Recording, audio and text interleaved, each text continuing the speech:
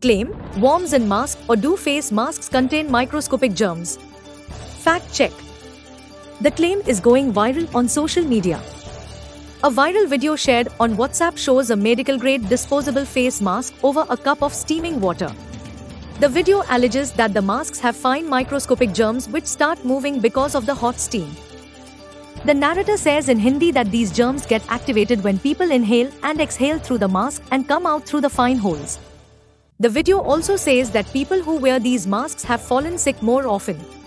The 145 minute long video suggests that people should use homemade fabric masks to not get in contact with these germs.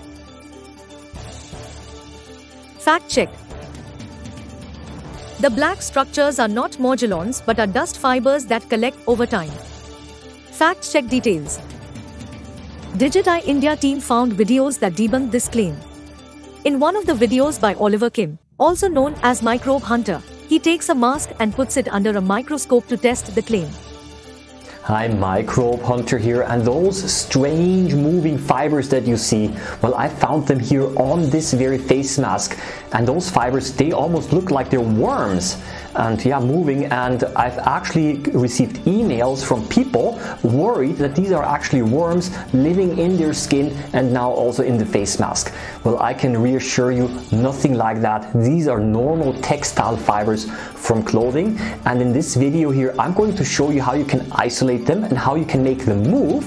And at the end of the video, I'm also going to show you how you can make those spaghetti noodles move because the physics behind it is, is actually quite similar. Now what I have done is I took directly the face mask and put it directly beneath a very low cost handheld microscope and even they were able to reveal those textile fibers. A trained microbiologist, Kim says that they seem to move like living things, but the reason why they move is because of a physical process. The dark fibers on the mask are dust fibers that collected over time. You will not find them on new masks. If you do find fibers on new masks, then it is dust that settled on the mask after it was removed, for example mask was placed on the table or it is from the air. Alternatively, the fibers settled before the mask was packaged, which is a sign of quality control, but does not mean that these are microscopic robots or worms, like some claim. These fibers can also be seen in house dust.